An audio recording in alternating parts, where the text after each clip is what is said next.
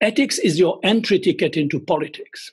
That is the first dissident message. Second dissident message rule of law. We're fighting for human rights, we're fighting for constitutionalism, you're fighting for a society where rule of law matters. And thirdly, you have this European dimension, but it is joining a European project based on values.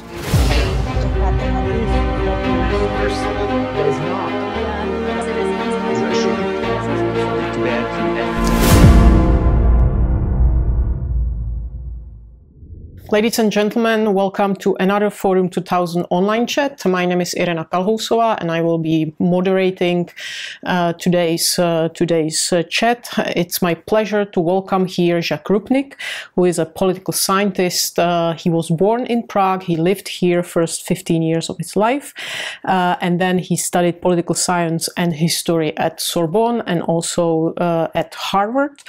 And in the 70s, he worked for BBC, and uh, later on, he became professor at Sciences Po in Paris, and uh, later he became a professor at College of Europe.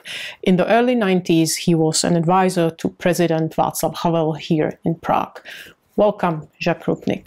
Thank you very much for your time, uh, and uh, for sharing your ideas with us. And uh, I would like to ask you uh, about uh, populism, because just recently you published an article with your colleague Jan Zielonka, which is called From Revolution to Counter-Revolution, Democracy in Central and Eastern Europe 30 Years On. So uh, building on your article, I would like to ask you or start with a question uh, about populism and the current health crisis. To what extent do you think that COVID-19 is going to actually strengthen uh, this uh, rise of populism, or to what extent actually it can be uh, the case that uh, after seeing how the populist governments were able to deal with the crisis or were not able to deal with the crisis, to to what extent this can actually uh, stop them or decrease the popularity of populism? Well, there are two aspects, and actually, the last part of your question is partly also an answer to that. Uh, first of all, it is true that the populist uh, leaders that have been establishing their powers and their hold on power in Central Europe, but also elsewhere, uh, have a strong temptation to use the crisis to consolidate and strengthen their power. So uh, this is a temptation in all crises. You know, you have a crisis, leave it to me, and uh, the argument that your security comes first, I will look after uh, uh, the way it is implemented, and that has been uh, attempted quite successfully in Hungary uh, mainly, uh, but not only, you know, in a very milder form, uh, even in the Czech Republic. You know, the, the, the Prime Minister Babiš, uh, who a year ago was challenged by a quarter million people in the streets, is now, you know, quite safely in command and saying, you know, my performance in the COVID crisis is testimony to the fact that, uh, you know, these things should be left to people who know how to handle this. And uh, uh, we have seen Poland, where um, also they even wanted to squeeze the election out completely. There was a COVID in the midst of a presidential election. So they canceled the campaign and they simply wanted to have postal voting, etc. So this is using the crisis, the COVID crisis, as an opportunity to strengthen your power. Uh, however, there is the other side of the coin it all depends on the performance. And that is very uneven. It has been quite good in Central Europe. So you could say in Central Europe, it has worked to some extent. And we will see whether that is the case in the longer run, not necessarily, as we have seen actually in the Polish election, very tight. And uh, um, you can have surprises. But where uh, the performance is poor, or even pretty disastrous, you may have a, a backlash against the uh, authoritarian leader, either because he has underestimated uh, the COVID crisis or because he has mishandled it. And of course, we have a big debate now in the United States on that subject. We have a debate in Brazil, a number of places like that. You have the populist leader challenged, uh, basically uh, on his performance in the crisis. Um, yes, and. Uh you mentioned the United States, you mentioned uh, Central Europe, and the truth is that uh, we saw the, the rise of populism or popularity of populist leaders across uh, transatlantic region. And uh, so I would like to ask you about comparison between the two, because uh, on the one hand, we hear that Central and Eastern European countries were not matured enough and democracy was not rooted enough. And this is partially an explanation for the popularity of, of populist uh, leaders who uh, came out and uh, presented very easy solutions to uh, complex problems. But on the other hand, we see the popularity of populism in very established democracies like the United States, like uh, Great Britain. Uh, we saw it in France, in Italy. So, to you know, what do you find similar and what do you find different in uh, populist uh, or popularity of populist leaders in so-called the West and so-called the East? If I use this uh, not very, very, I think, good and popular Cold War rhetoric.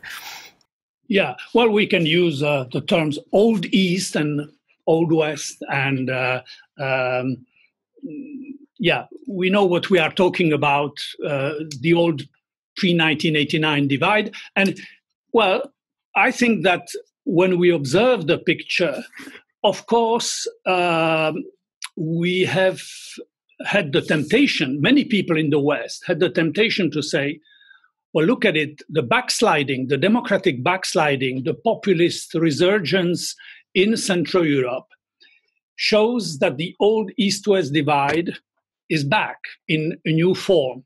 And that was then uh, uh, strengthened by the responses to the migration crisis. So you had then the combination that here are the Visegrad countries in particular, but more or less East Central Europe.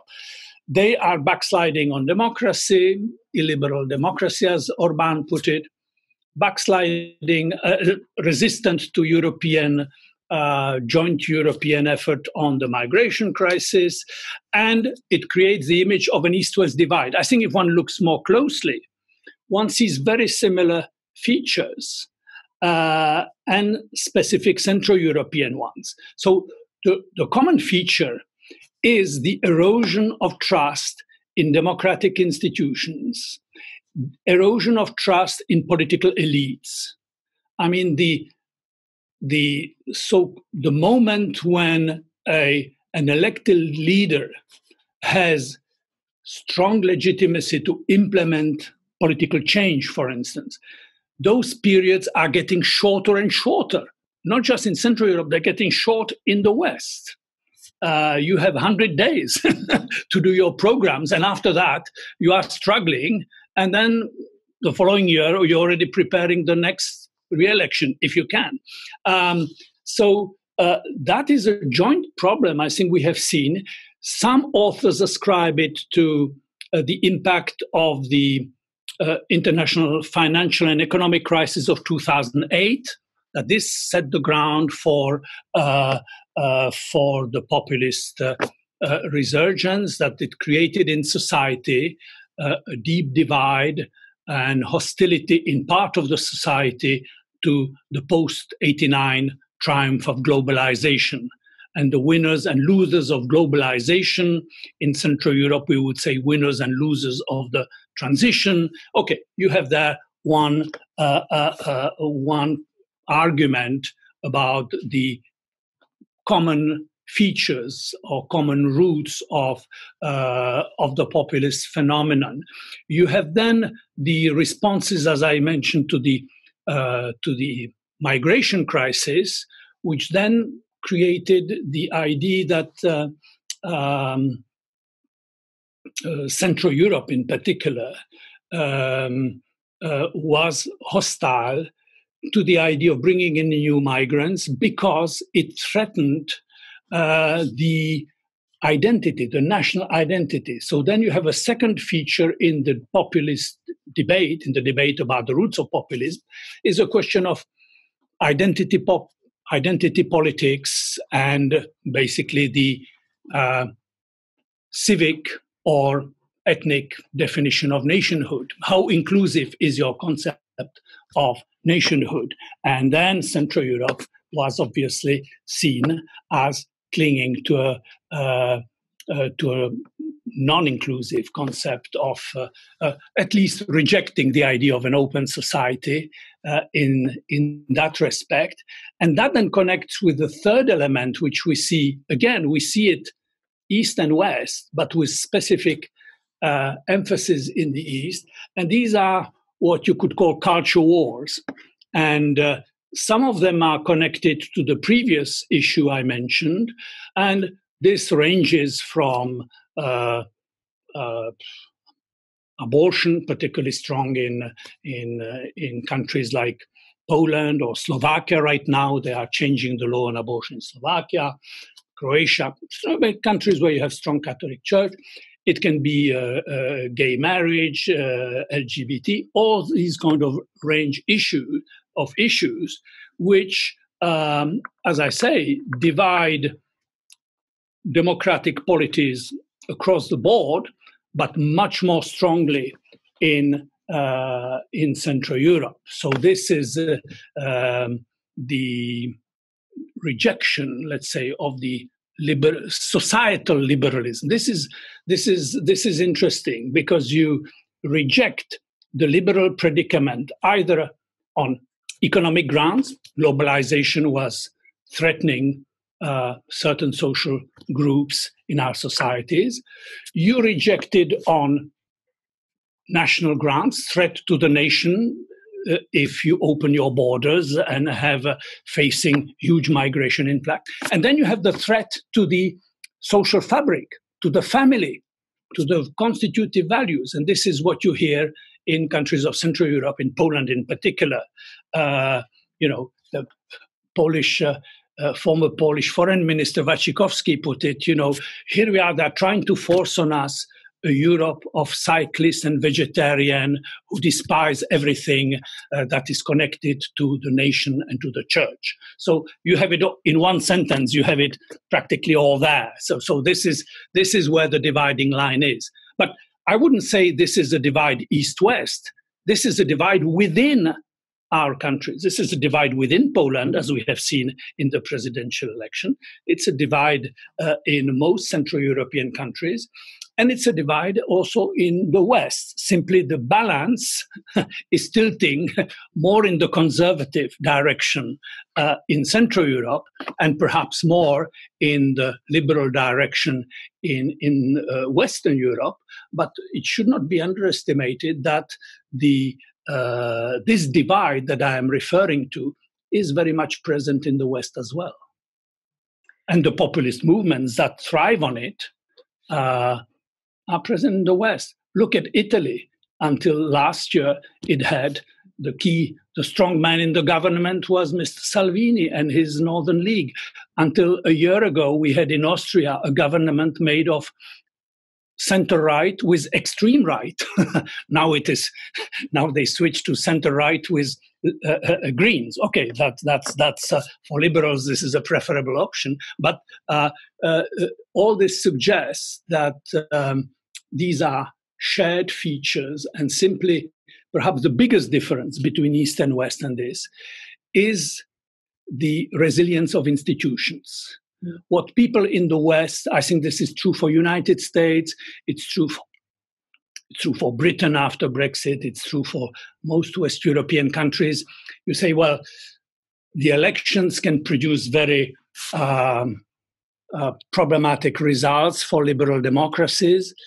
But at the end of the day, you have established institutions that can provide limits of on the populist drift. So even if a populist incumbent had uh, the ambition to tamper with the uh, uh, uh with the polity, he would have great difficulty because there are established institutions, constitutional courts, etc., etc. The rule of law uh, is much more difficult to tamper with. Uh, uh, whereas the in Central Europe, we have seen in Hungary, in Poland, and elsewhere, uh, attempts basically to undermine the rule of law, the separation of power, the independence of the constitutional court. And that, of course, is the key problem with populism. Populism is not a problem that you elect a government that people don't like. It's, it's a problem that you might not get a chance to re-elect a different one. and and uh, and uh, uh, yeah, the confiscation of power and the use of the tools uh, of the state, control of public broadcasting media, a number of other means that the in, that the populist party in power can have, as we have seen in Hungary, in Poland, and elsewhere, can create a situation where you no longer have a free and fair competition for the election.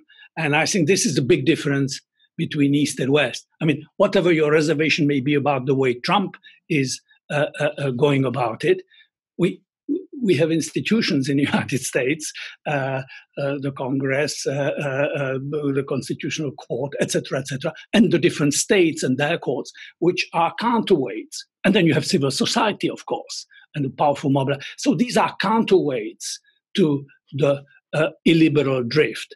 In Central Europe, those counterweights are much, much weaker. Mm. Institutional, constitutional, civil society. So this is where the differences are. And of course, the longer this trend continues, the more serious the problem. Yeah even though we are not going to talk about America, but I think many of us were actually a little bit surprised that you know this robustness of institutions was also put to question under Trump. Uh, but uh, let's uh, build on your expertise uh, on Central Europe, and uh, so let's zoom in uh, and talk a little bit more about um, elites in Central Europe, and especially elites who came to power in the early 90s most of them we can we can say subscribed to uh, certain values uh, like rule of law, uh, free market uh, ideas. Uh, they had very inclusive approach uh, to nationality or or citizenship. Um, so it was based on civic civic values rather than soil and blood. Um, and of course, they also somehow uh, expected that religion is uh, your private private thing. Um, so we can say that these values dominated uh, the region. Even though in some countries probably it's religion it was a little bit different but still. Uh, do you think that these uh, elites that they bear some responsibility for what's going on in uh, central and eastern europe now? You know that they missed something that they maybe did not uh, recognize enough that uh, there were some losers of uh, the transformation and economic transition and that they simply missed that well, um, th- there are a number of uh, ways of going at it.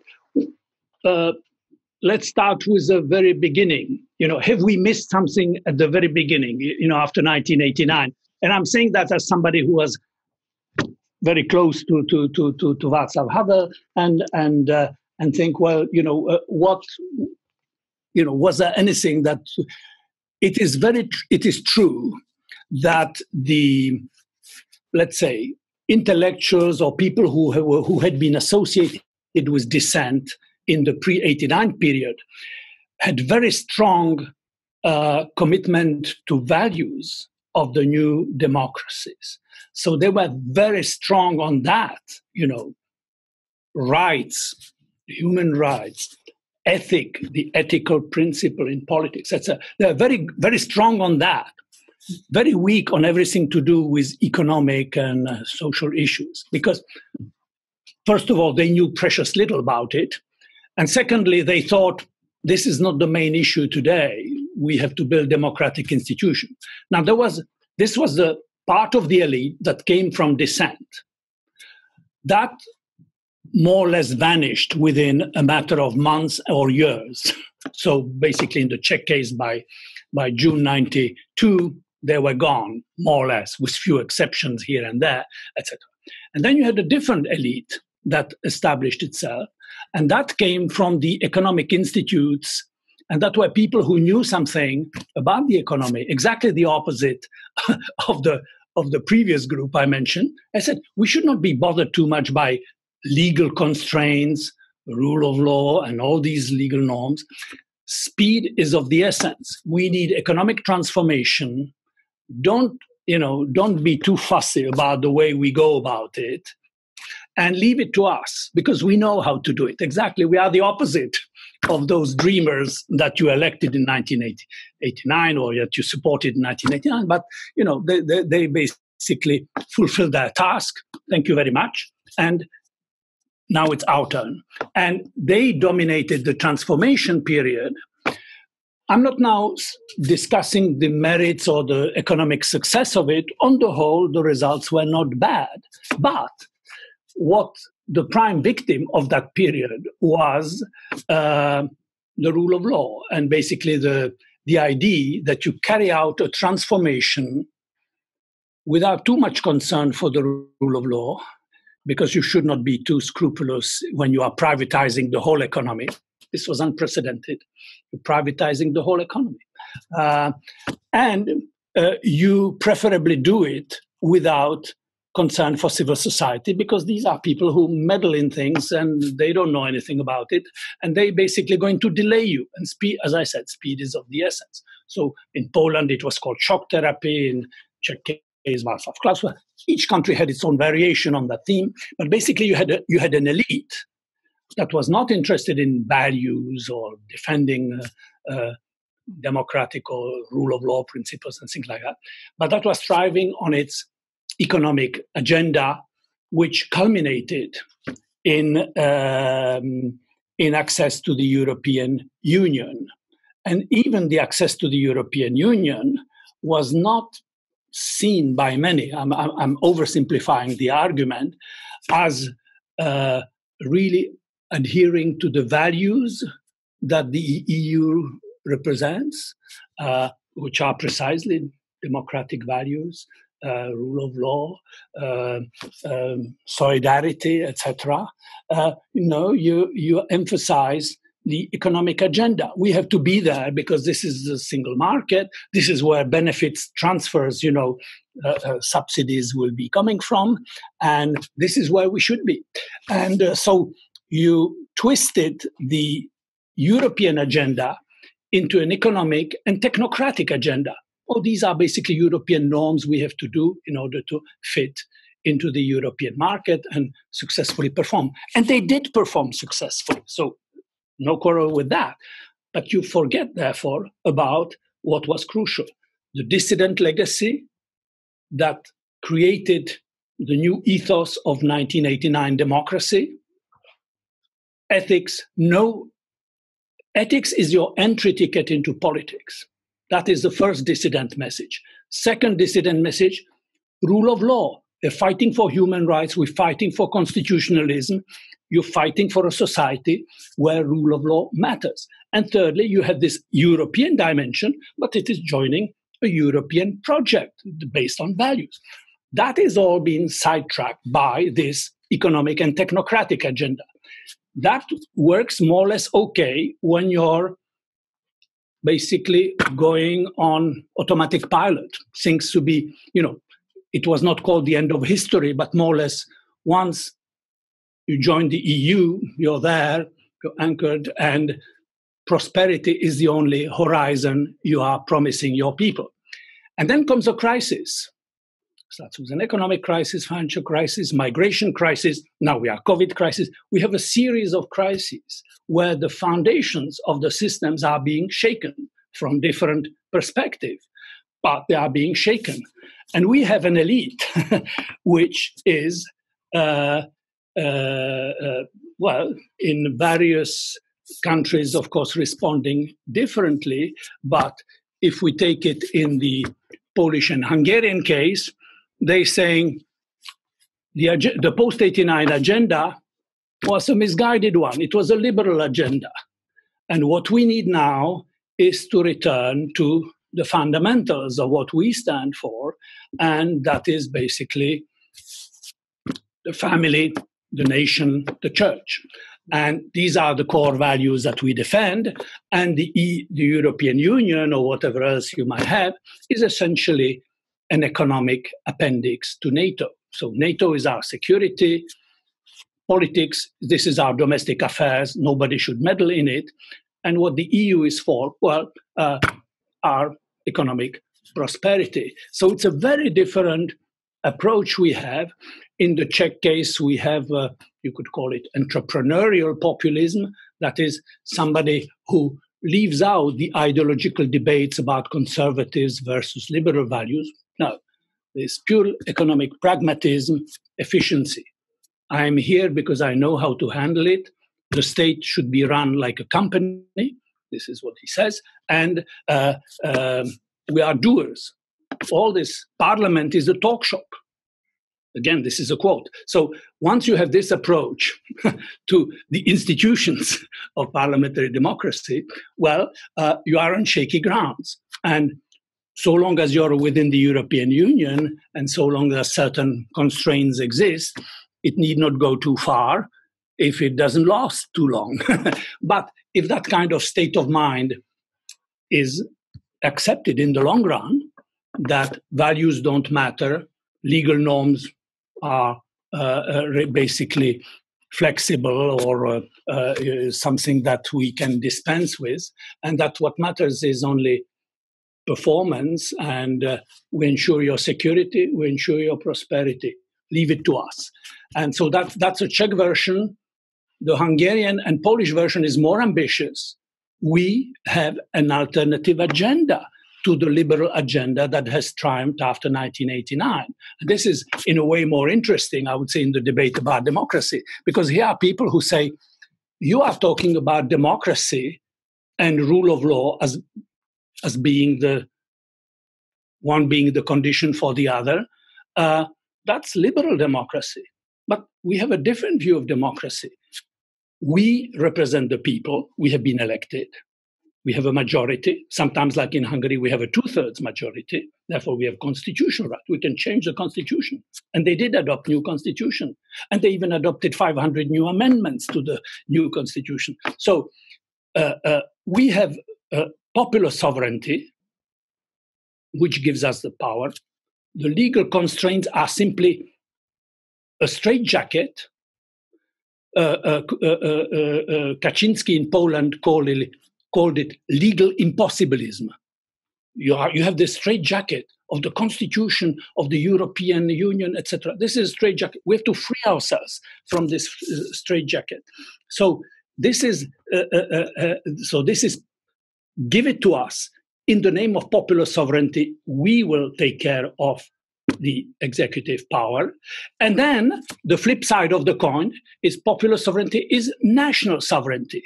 So because we have popular authority, we represent the nation, and as such, we refrain any interference from the European Union into our domestic uh, affairs. So, national sovereignty this is we build fences, we protect ourselves from external uh, uh, intrusions, but we also protect ourselves from intrusions of Brussels and the European Union. And so popular sovereignty and national sovereignty. These are the two constitutive elements from the new populist in power in Hungary, in Poland. In milder versions, you see similar trends elsewhere. In the Czech case, it's a much more pragmatic version. In Slovakia, you have Fico's left wing populism replaced by populism of a new kind. The two parties that are in coalition are called We Are uh, uh, uh, they are called ordinary people, and they are in coalition with a party called We Are of One Family. So, ordinary people and one family. This is the definition of populism in Central Europe, as good as you get it. Yeah. Thank you very much. Uh, of course, it's, it was very interesting to hear and uh, learn more about the differences in populisms in, in Central Europe, and uh, we'll see if uh, you know which one will, prevail, or if uh, uh, we will see some you know the process of de- democratization being stopped and uh, democracy uh, being uh, restored, especially in Hungary and and uh, in a limited way in Poland. Thank you very much for your time and uh, for being with us, and have a good day. Thank you.